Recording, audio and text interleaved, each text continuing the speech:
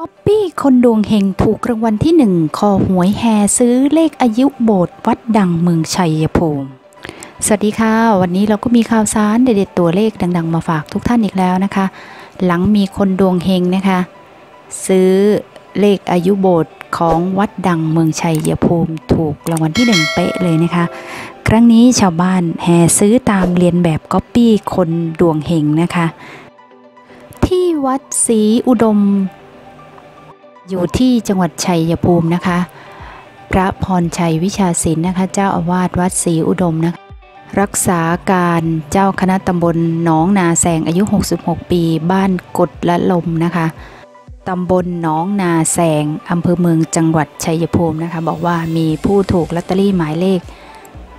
713517จำนวน 1 ใบ ซึ่งถูกรางวัลที่ 1 งวดประจำวันที่ 1 กรกฎาคม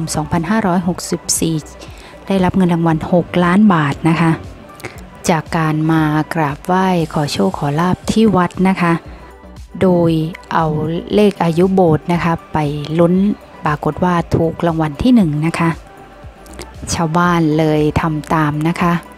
นอกจากนี้นะคะชาวบ้านยังมากราบไหว้ต้นตะเคียนขนาดใหญ่ซึ่งมีอยู่ในวัดด้วยนะคะ แล้วก็มาขอโชคขอลาบกันบ่อยครั้งนะคะ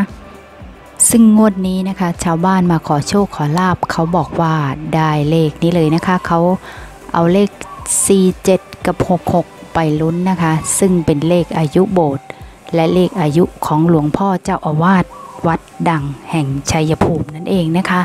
ชาวบ้านก็แห่ซื้อนะคะ หลังมีคนดวงเฮงถูกรางวัลที่หนึ่งนะคะ สวัสดีค่ะ